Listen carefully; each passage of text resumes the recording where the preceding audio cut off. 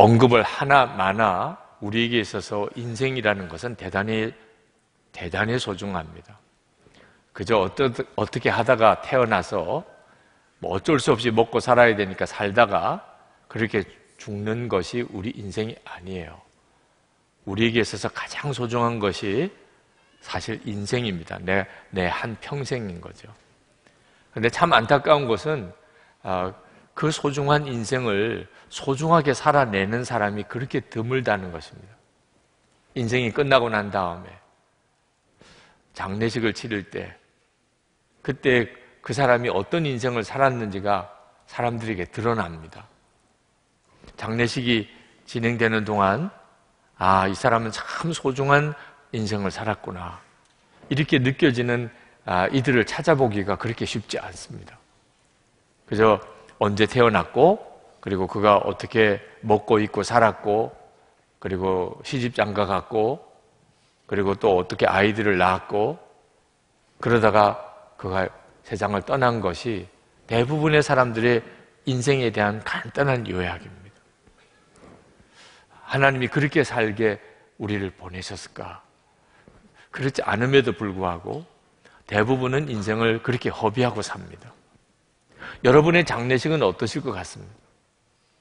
여러분의 장례식에 제가 예배를 인도하러 가서 여러분의 인생에 대해서 아, 그 찾아온 아, 조문객들에게 뭐라고 제가 설명을 해야 좋을까요? 아마 여러분 스스로도 궁금할 거예요. 내 장례식은 도대체 목사님이 어떤 설교를 하실까? 고인에 대한 소개는 어떻게 될까? 조금만 한번 생각해 보면 대략 여러분이 여러분의 장례식 분위기를 느끼실 수 있어요. 여러분, 지난 2016년 여러분에게는 어떤 간증이 있었습니까?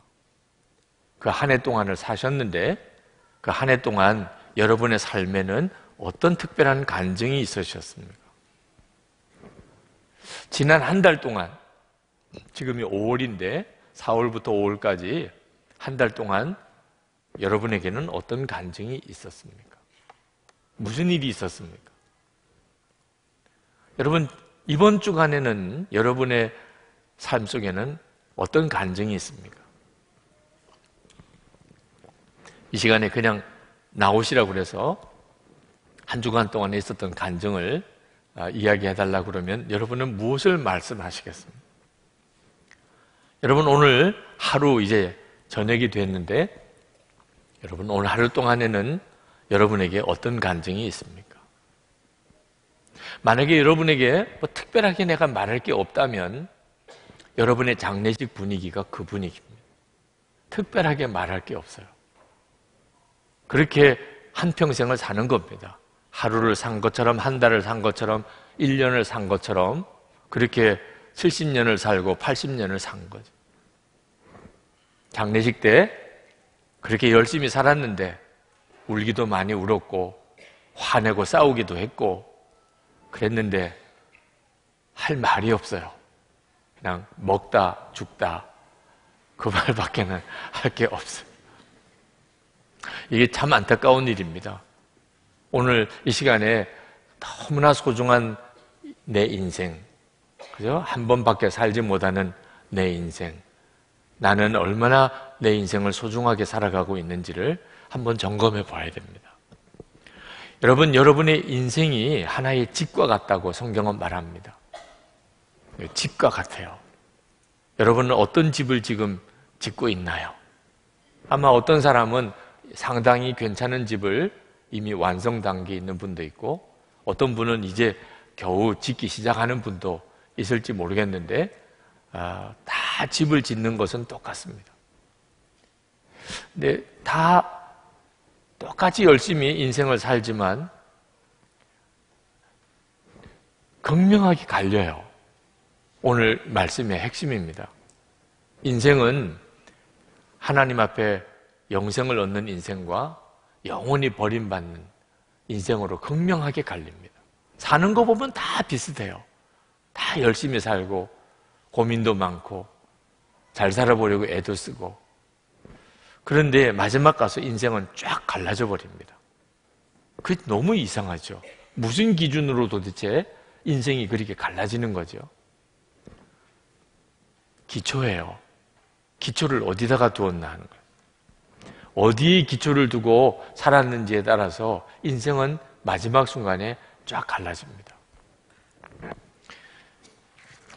제가 신학교 다닐 때 그때 아, 같이 공부하던 신학생들 동기라고 그러죠. 신학교 동기들. 그때까지만 해도 그냥 다 같은 신학생이었습니다. 뭐 특별히 다를 바가 별로 없었어요. 신학생이라는 의미에서는 하나였습니다. 그런데 신학교를 졸업하고 난 다음에 근데 다 목회 현장으로 흩어졌습니다. 그리고 10년이 지나고 20년이 지나고 30년이 지나고 이제는 사역하는 현장이 너무 많이 달라요. 신학교 동기라는 거는 하나지만 이렇게 만나보면 서로 처지와 형편이 너무 많이 다릅니다. 여러분들도 초등학교 동기들, 중학교 동기들, 고등학교 동기들 만나보면 아마 그런 느낌일 거예요. 그때는 다 같이 어울리던 똑같은 무리들이었는데 지금은 사는 게 너무 많이 달라요. 근데 어떻게 사는 사람이 잘 산 거죠? 어떻게 된 사람이 성공한 동기지요? 흔히들 무슨 돈을 많이 벌었고 높은 지위를 가졌고 또 세상에서 무슨 성공을 했다든지 이런 걸 부러웠게 생각합니다. 그러나 죽음 앞에 서보면 아무것도 안 해요. 정말 하나님 앞에 서는 것을 생각해 보면 비로소 그때 내 집이 어떤 집인지가 나오는 겁니다. 여러분 속으면 안 돼요.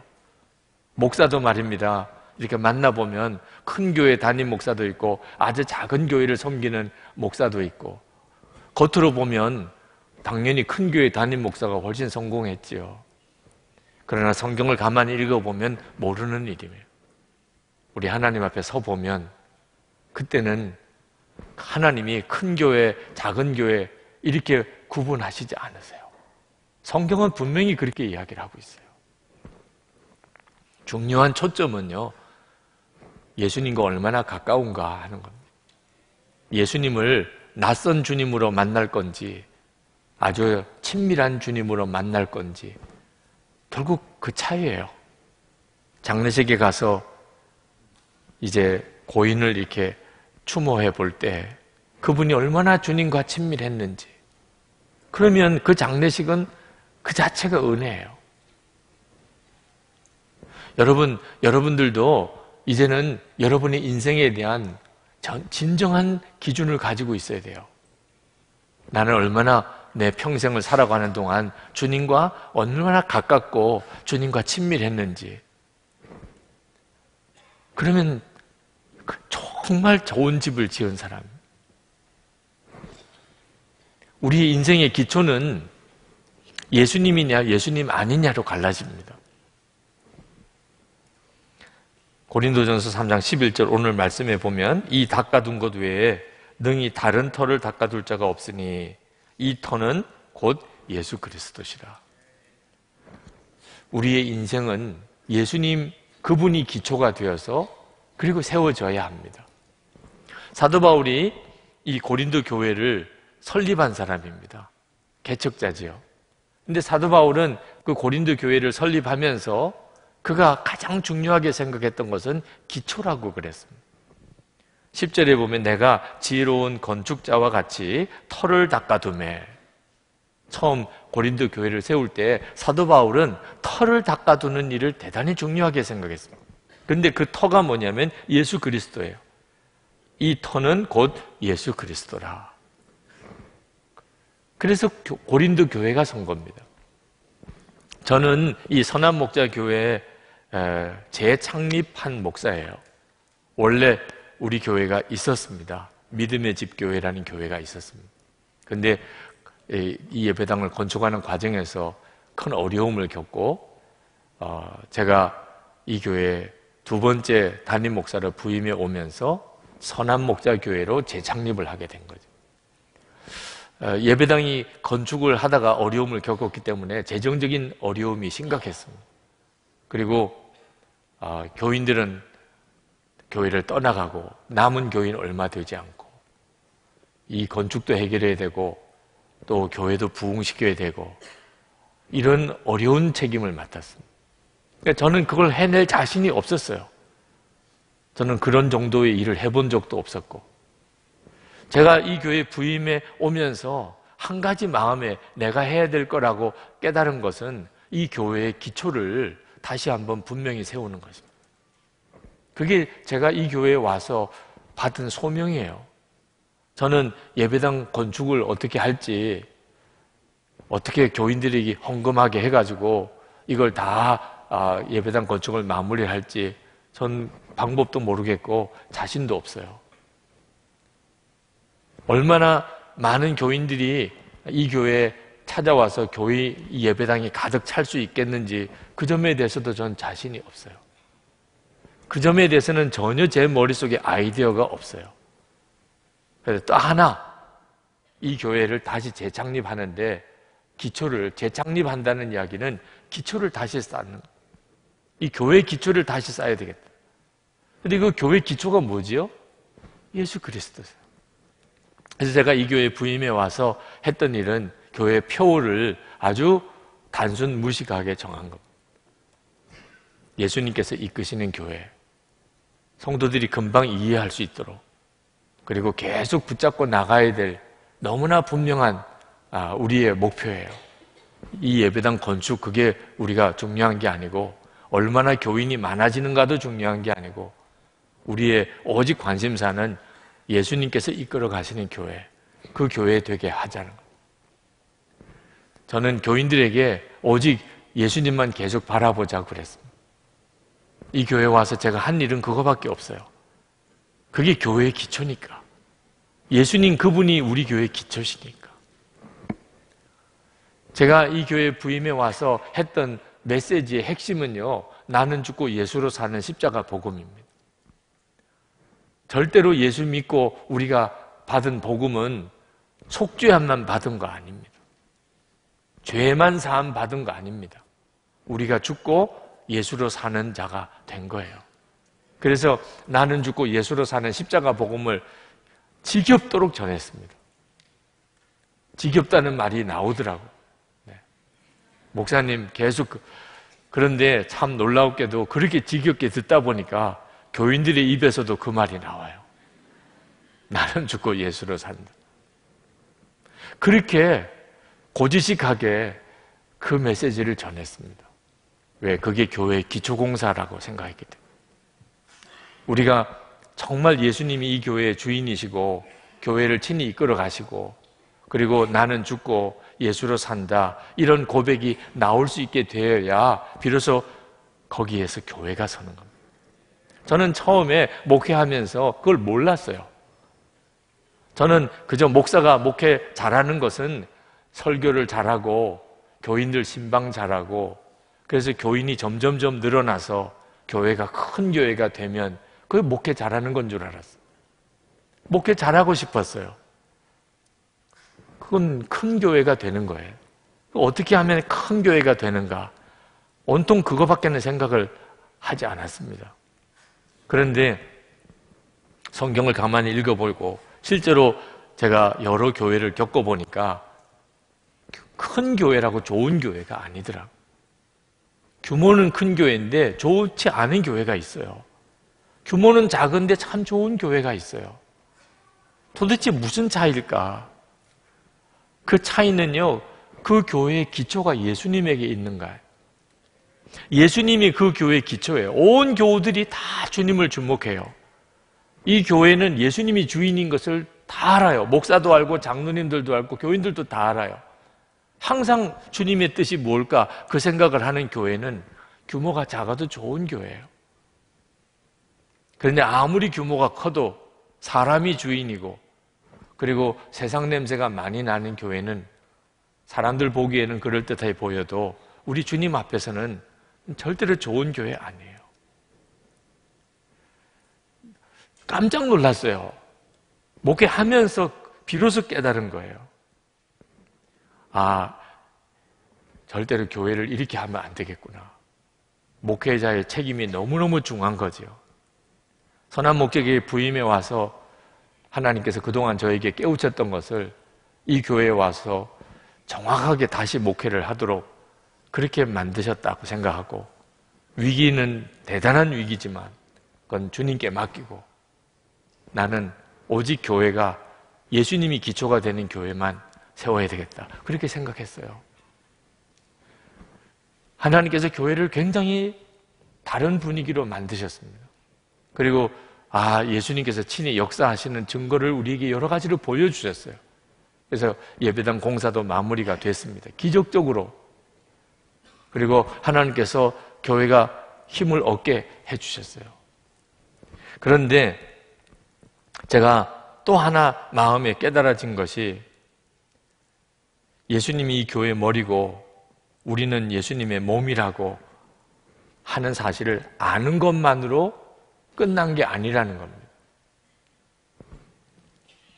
저는 나는 죽고 예수로 사는 복음을 열심히 전했어요. 성도들이 그 말씀을 들을 때 얼굴 표정이 지금도 눈에 선해요. 아, 그래. 그게 예수 믿는 거였구나. 아, 예수 믿는 게 그거였어. 내가 그동안에 예수를 뭔가 좀 잘못 믿은 게 무슨 문제인지를 잘 몰랐는데 그거였구나. 예수를 믿으면 주님과 함께 죽는 거고 그리고 이제 예수님의 생명으로 사는 거였어. 그 말씀을 들을 때 놀라기도 하고 충격도 받는 것 같기도 하고 그러면서도 무언가 하나님이 이제 눈을 열어주신 것 같은 기쁨도 있고 그랬는데 조금 지나고 나니까 얼굴이 다시 어두워졌어요.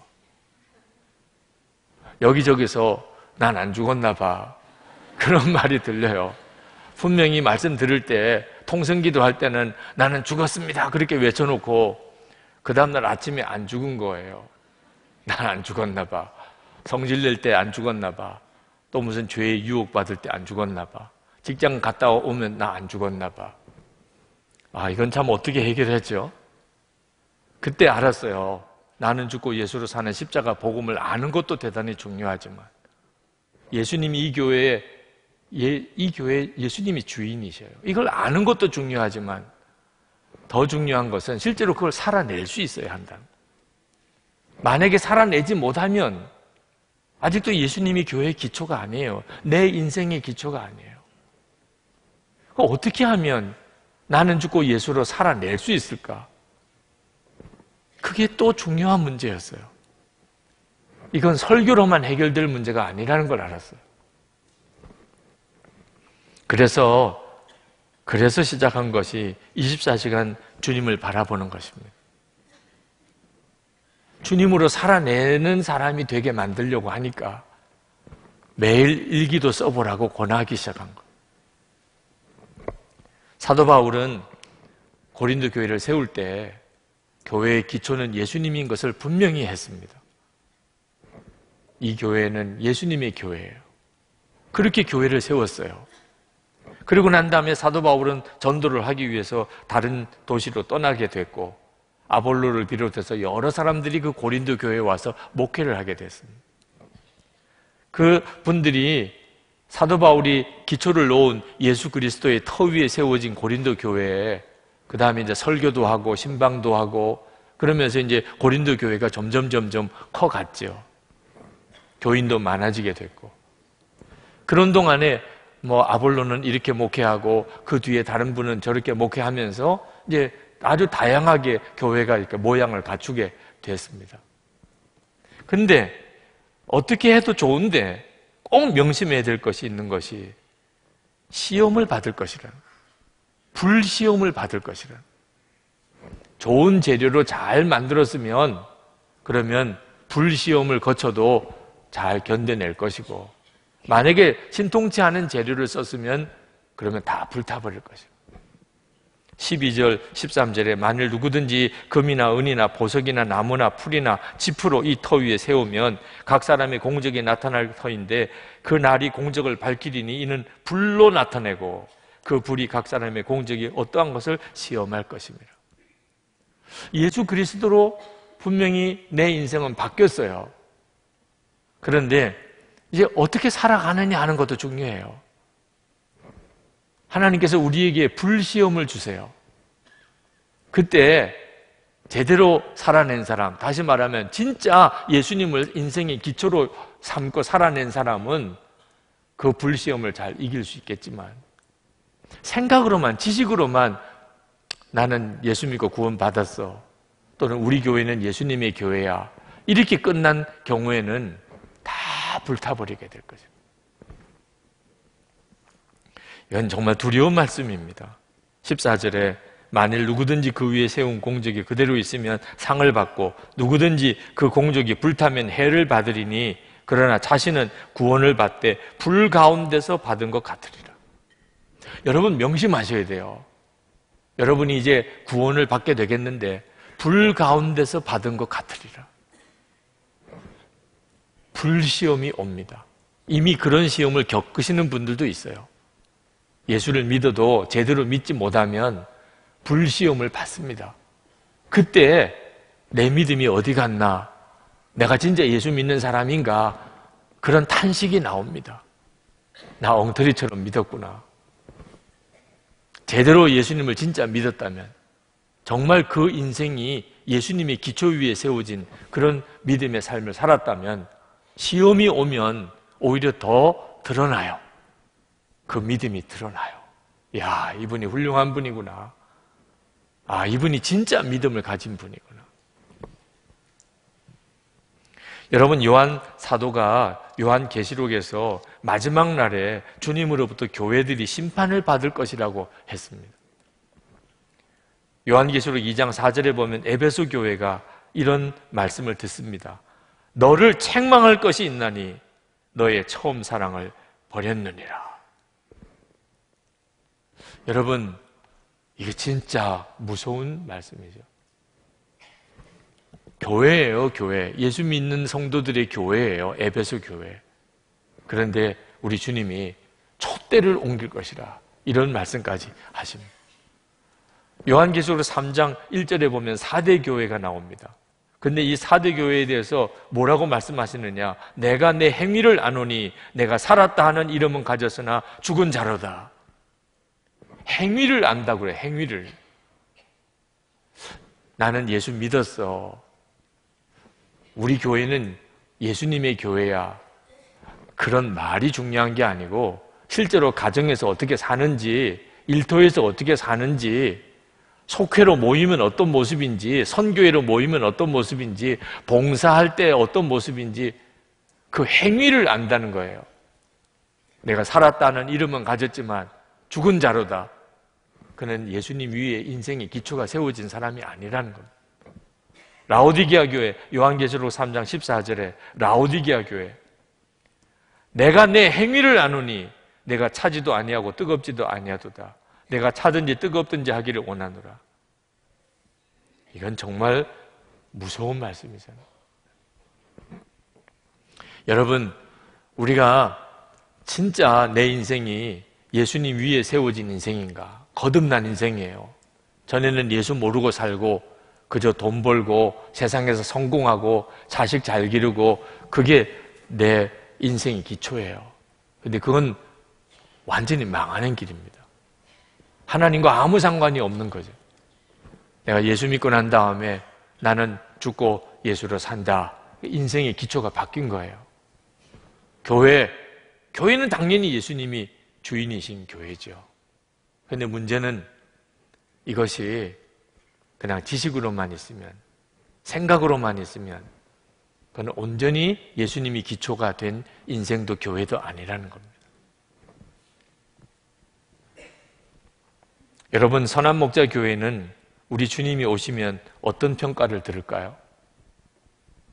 주님, 우리 새가족 양육교제가 참 좋습니다. 우리 교회는 예수님의 사람이라는 제자훈련 교재를 가지고 이렇게 훈련을 받습니다. 우리 주님이 가져와 봐라. 내용이 괜찮네. 그래, 이 교회는 좋은 교회구나. 그렇게 안 하실 거라는 거예요. 네. 우리 주님은 우리 성도들 한 사람 한 사람이 어떻게 살아가냐. 진짜 나는 죽고 예수로 사느냐. 정말 예수님 안에서 행복하냐. 정말 사랑만 하며 사느냐? 우리 주님은 그걸 살펴보고 선한 목자 교회가 칭찬받을 교회인지 아닌지를 결정하는 거예요. 여러분, 우리가 진짜 인생의 기초를 예수님에게 두고 있고 교회의 기초를 예수님에게 두고 있는 거 맞습니까? 어떻게 하면 그렇게 살 수 있는가가 저에게는 고민이었어요. 선한 목자 교회 교인들은 어떤 평가를 받을까? 그 삶이 어떤가? 저는 모르죠. 여러분이 어떻게 사는지. 근데 이렇게 들려오는 소리를 들어보면 어떤 때는 가슴 철렁한 이야기를 들을 때도 있어요. 그렇게 예수님을 바라보자 그러고 나는 죽고 예수로 산다고 그랬는데 왜 그게 여전히 해결이 안 될까? 그래서 24시간 예수님을 바라보아야 되겠다. 그렇게 하기 위해서 영성일기를 쓰는 거예요. 여러분, 예수님께서 두 집의 비유를 말씀하셨어요. 마태복음 7장 24절부터 27절까지. 누구든지 나의 이 말을 듣고 행하는 자는 그 집을 반석 위에 지은 지혜로운 사람 같으리니 비가 내리고 창수가 나고 바람이 불어 그 집에 부딪히되 무너지지 아니하나니 이는 주추를 반석 위에 놓은 까닭이요. 나의 이 말을 듣고 행하지 아니하는 자는 그 집을 모래 위에 지은 어리석은 사람 같으리니 비가 내리고 창수가 나고 바람이 불어 그 집에 부딪힘에 무너져 그 무너짐이 심하니라. 실제로 1906년에 샌프란시스코에 지진이 큰 지진이 일어났을 때 그때 이 말씀 그대로 지진 피해가 드러났어요. 그 언덕 위 바위 위에 지은 집들은 그 큰 지진이 일어났는데도 밤에 지진이 일어난 줄도 잘 모르고 그냥 대부분 잠을 잤습니다. 그런데 흙 위에 이렇게 충족토 위에 계곡에 이렇게 흙이 쌓여진 곳 위에 그렇게 지어진 집들 해변가에 아, 매립지 위에 이렇게 지어진 집들은 완전히 다 무너져 버렸어요. 수많은 사람이 거기 죽었어요. 한 60채 정도 땅이 흔들렸는데 일어설 수도 없었다 그랬어요. 얼마나 집이 흔들렸는지. 그러니까 바위 위에 지은 집과 모래 위에 지은 집은 지진 한번 일어나 보면 극명하게 갈려요. 여러분, 우리가 인생이 꼭 그와 같다는 겁니다. 겉으로 보면요, 사람들이 사는 거 다 비슷해요. 여기 있는 여러분들도 사는 게 다 거기서 거기입니다. 그런데 우리 주님 앞에 가보면 영생과 지옥으로 쫙 갈라집니다. 뭐 사는 게 별로 다를 게 없었던 것 같은데 어떻게 그렇게 극명하게 갈리죠? 그 기초가 달라요. 기초가 다릅니다. 그 무슨 기초지요? 예수님의 속죄주의심을 믿었느냐 안 믿었느냐 주님의 말씀에 근거해 보면 아니에요. 우리 주님의 말씀에 순종했느냐 안 했느냐로 갈라집니다. 내 인생 집이 지진이 한번 일어났을 때 그때 무너지는 집인가 아니면 경과하여 어, 흔들림이 없는 집인가 그 차이는요 여러분이 예수님에 대해서 많이 아는 것 많이 들었던 복음 거기에 따라 차이가 나는 게 아니고 여러분이 실제로 주님의 말씀을 순종했냐 안 했느냐 그 차이로 갈라진다는 겁니다. 이것이 내 인생의 기초가 어디 있느냐 하는 거예요. 여러분, 이 무너진 집도 다 주님의 말씀을 들었다고 그랬습니다. 듣고 순종을 안 한 거예요, 듣고.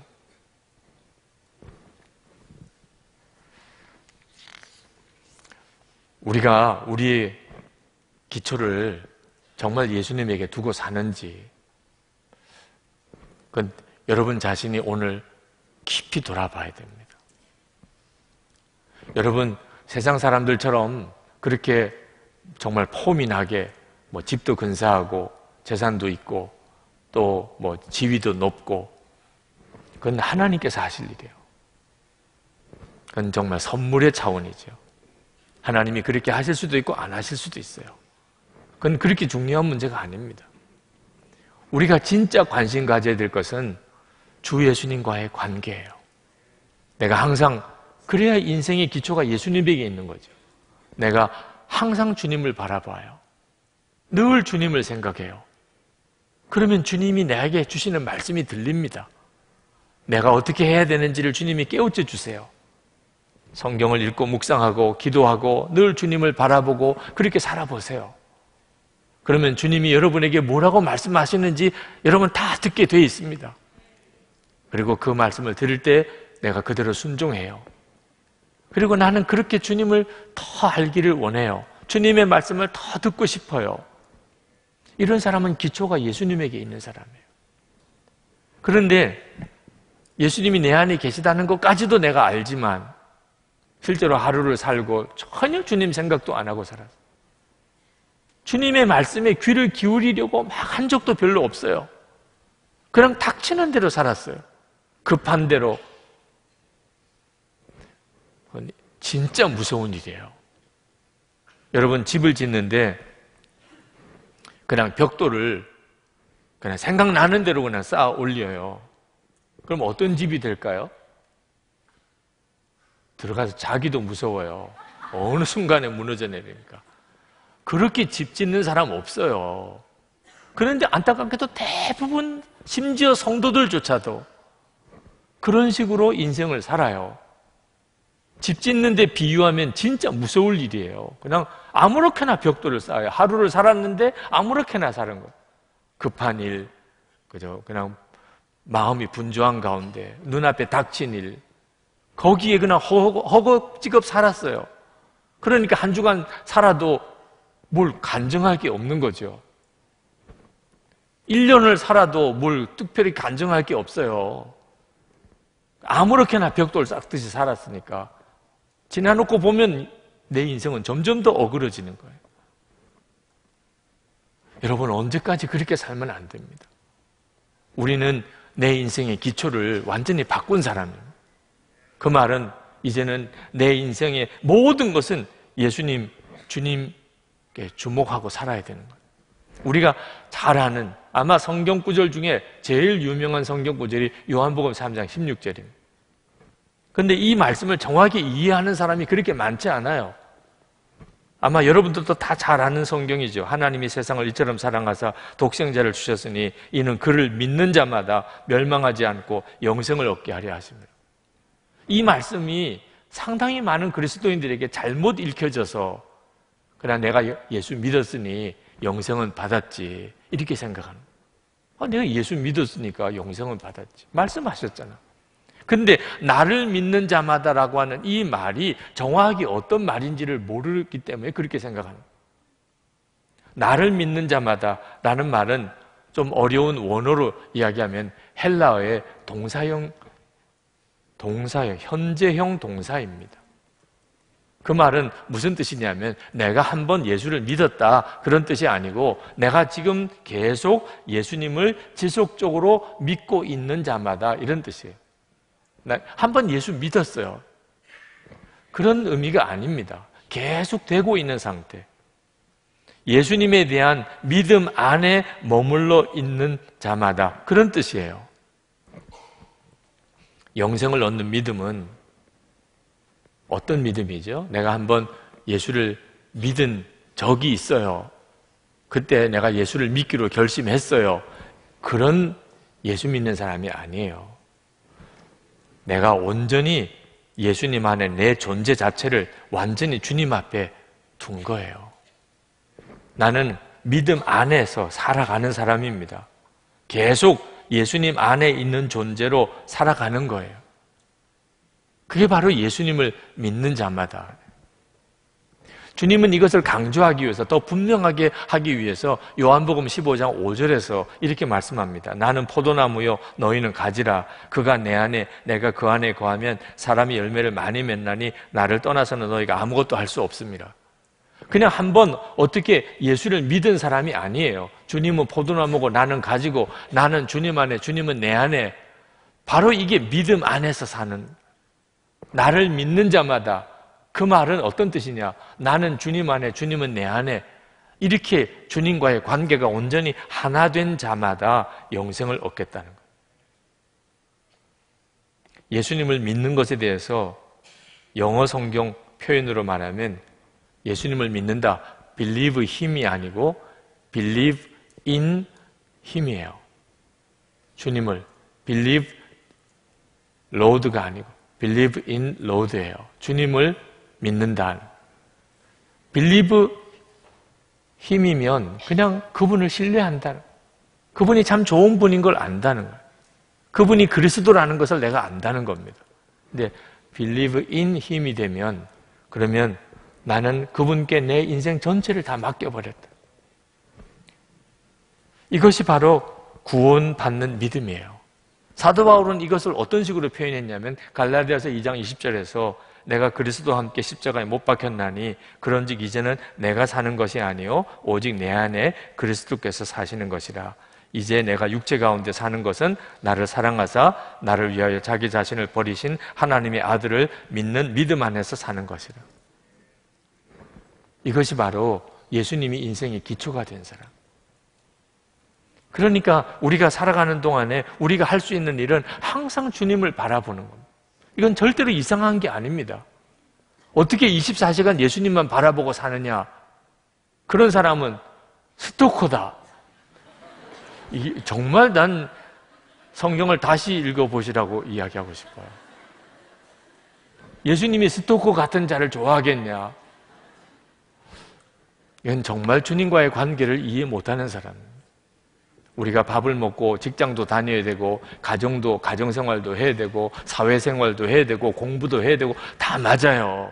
어떻게 24시간 예수님만 바라보라는 거냐? 직장은 어떻게 하고 밥은 어떻게 먹고 어? 부부 생활은 어떻게 하고 정말 답답한 이야기만 하는 거예요. 직장 생활을 하든 밥을 먹든 가정 생활을 하든 항상 주님을 바라보고 해야 돼요. 얼마든지 할 수 있어요. 그게 정상이에요. 그게 바로 예수님이 그 인생의 기초인 거예요. 예수님 당시 때 베단이라는 마을에 살던 마리아라는 자매가 있었습니다. 아주 평범한 자매, 특별할 게 전혀 없는 자매. 그런데 그는 예수님의 칭찬을 받았습니다. 누가복음 10장 42절에 몇 가지만 하든지 혹 한 가지만이라도 족하니라. 마리아는 이 좋은 편을 택하였으니 빼앗기지 아니하리라. 좋은 편을 택했다고 하는 칭찬을 받았어요. 그럼 마리아가 어떻게 했길래 예수님의 발밑에서 주님의 말씀을 계속 귀 기울여 듣는 일. 아, 지금 식사 준비도 해야 되는데 마리아는 그것보다 주님의 말씀을 듣는 것이 자기에겐 더 중요하다고 생각해서 주님 앞에서 주님의 말씀을 귀 기울여 들었는데 주님은 뭐라고 말씀하셔? 더 좋은 편을 택했다. 주님은 그걸 원하신다. 우리가 계속 주님께 귀를 기울이는 삶. 저는 마리아 같은 갈망이 제 속에 계속 있습니다. 계속 주님께 귀를 기울이고 그렇게 살고 싶어요. 진짜 마리아가 이런 심정이었겠구나. 그런 심정. 계속 주님은 나에게 뭐라고 말씀하실까? 지금 주님은 나에게 어떻게 말씀하고 싶으실까? 주님은 나에게 조금 더 정확하고 깊게 좀 더 분명하게 역사해 주시면 좋겠는데 그게 제 속의 갈망이에요. 저는 그것이 성령의 역사라고 믿습니다. 제 인생의 기초가 이제는 예수님이 되신 거죠. 여러분, 우리는 순간순간 정말 주님 위에 굳게 서 있어야 돼요. 저는 요즘 다시 나는 죽고 예수로 사는 이 고백을 수시로 합니다. 아침에 눈을 떠서도 새벽기도 달려 나오면서도 짬짬이 주님 나는 죽었습니다. 제 자신의 육신을 더 분명하게 이렇게 느끼게 되기 때문에 제가 여전히 가지고 있는 이 육신, 육신의 욕구와 또 육신의 충동들 그런 걸 계속 느끼니까 전에도 계속 그랬겠지만 그게 더 강하게 느껴져요. 제가 할 수 있는 방법은 아무것도 없어요. 제가 어떻게 저 스스로 육신을 이길 수 있겠어요? 믿음의 고백으로 나아갑니다. 주님, 나는 죽었습니다. 예수님 내 생명이시고 내 주님이십니다. 여러분, 순종도 말입니다. 주님의 말씀에 순종하는 것도 우리 힘으로 하라 그러면 그건 복음 아니에요. 여러분, 인생의 기초가 주님의 말씀을 듣고 순종하는 거라 그랬는데 이 말씀을 듣고 순종하는 게 전적으로 성령의 역사입니다. 주님이 해주시는 일이에요. 우리가 할 일은 계속 주님께 귀 기울이는 거예요. 그러면 주님께서 우리에게 말씀대로 살 힘을 주세요. 저는 연약해요. 때때로 주님의 말씀에 순종 못할 때가 너무 많아요. 그럴 때 전에는 아, 내가 어떻게 해서든지 순종해야 되겠다고 또 결심하고 또 작정하고 근데 이제는 그게 무익하다는 것을 알았어요. 그는 아마 죽을 때까지 해결이 안 될 거예요. 주님은 제가 해야 될 일을 하나만 말씀하셨어요. 너는 너 자신이 할 수 없다는 것을 그냥 인정해라. 오히려 그걸 감사해라. 그래서 저는 어떻게 보면 좀 이상한 고백을 해요. 주님, 저는 너무나 못된 것에 대해서 감사합니다. 여러분도 감사하지요? 유기성 목사가 못된 것에 대해서. 그러니까 주님이 저를 통해서 역사하시는 게 너무 분명하게 드러나는 거예요. 제가, 저의 원래 성품이 그렇지 못했고, 저 자신이 알지요. 제 고집, 어리석음, 그리고 육신적인 연약함, 어떤 속물적인 근성, 그거 다 그냥 그대로 있지요. 그런데도 이렇게 목사로서 이렇게 설교를 해야 되는 자리에 서게 됩니다. 제가 그 모든 것들을 다 스스로 해결하고 어떻게 설 수 있겠어요? 그냥 주님 앞에 고백해요. 저는 그런 사람입니다. 그래서 주님 감사합니다. 왜? 주님이 저에게 육신에 끌려가지 않고 주님 뜻대로 살 힘을 주실 분이 주님이시니까. 그래서 제가 뭔가 좀 그럴듯한 일을 했다면 다 전적으로 주님이 하시고 저에게는 그렇게 할 수 있는 능력이 없거든요. 그러니까 오히려 간증의 삶을 살아요. 여러분, 왜 예수 믿는 이들에게 성령을 받으라고 하실까요? 이미 성령은 받았는데. 이미 여러분 안에 성령님이 와 계신데. 그러니까 오늘 저녁에 여기까지 오신 건데. 왜 오늘 밤에 다시 성령을 받아야 됩니까? 그것은 성령께서 안 계신 사람에게 성령을 받으라는 의미가 아니에요. 이미 우리 안에 오신 성령, 그분을 알라는 겁니다. 너무 모르고 지나니까. 성령님을 모시고 살지만 전혀 성령님, 하나님이 내 안에 와 계신. 그런데 그런 의식이 없어요. 아, 주님이 진짜 여러분 안에, 성령 하나님이 여러분 안에 계시면, 그러면 저녁 밥이 먹혀요. 그 영광을 정말 우리가 안다면 사실 밥도 못 먹는 거죠. 주님이 내 안에 거하신 것을 알고 나면 어떻게 이렇게 제대로 앉아나 있을 수 있겠어요? 하나님께서 그 영광의 빛을 상당한 부분 가려주고 있으니까 우리가 주님을 모시고 이렇게도 살아가는 거예요. 그런데 마귀가 우리 눈을 너무 덮어버렸어요. 주님을 모시고 사는데도 할 말 안 할 말 다 하고 주님 내 마음에 계신데도 갈 때 안 갈 때 다 가고 주님 내 마음에 계신데도 엉뚱하고 정말 부끄러운 짓 아무 의식도 없이 하고 그러니까 성령을 받으라는 거예요. 이미, 이미 와 계신 성령님. 그분을 이제는 진짜 믿으라. 그분을 정말 생각하라.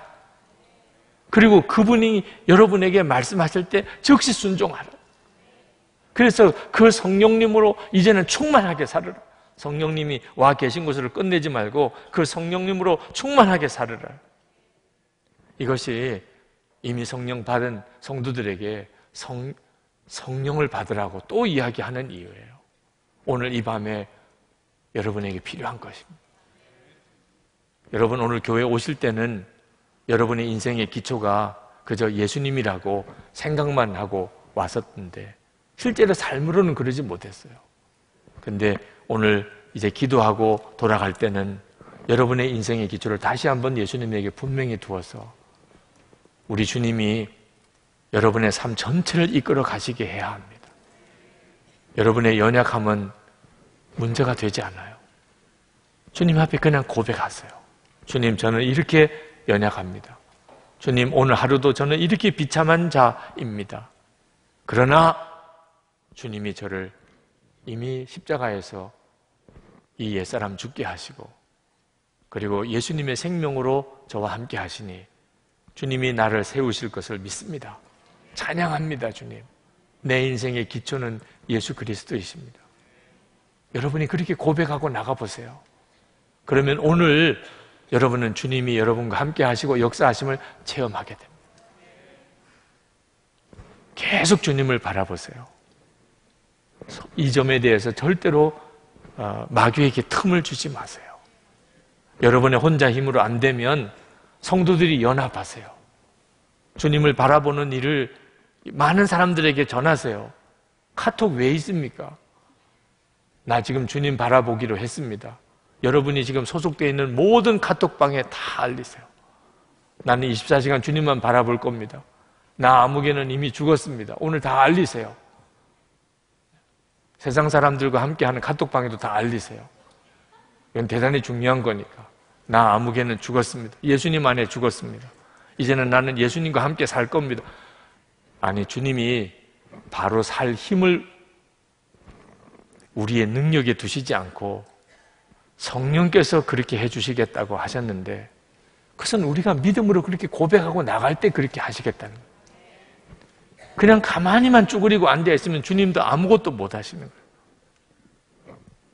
이제 우리 찬송 같이 하고 기도하겠습니다. 너무나 잘 아는 찬송, 아주 옛날에 부르던 찬송, 그 찬송을 오늘 한번 같이 부르고 싶습니다. 이 몸의 소망 무언가. 그 찬송 속에 하나님께서 우리가 주님 앞에 담대하게 서는 예수 그리스도 위에 담대하게 서는 그런 우리의 마음의 갈망을 가사 속에 담아 두셨습니다. 오늘 여러분 이 찬송 부르시면서 주님 제가 이제는 내 인생의 모든 순간 주 예수님 위에 굳게 서기 원합니다. 오늘 이 밤에 제가 그렇게 서게 되기를 원합니다. 내 인생의 또 한 번의 새로운 전환점이 되기를 원합니다. 그렇게 기도합시다.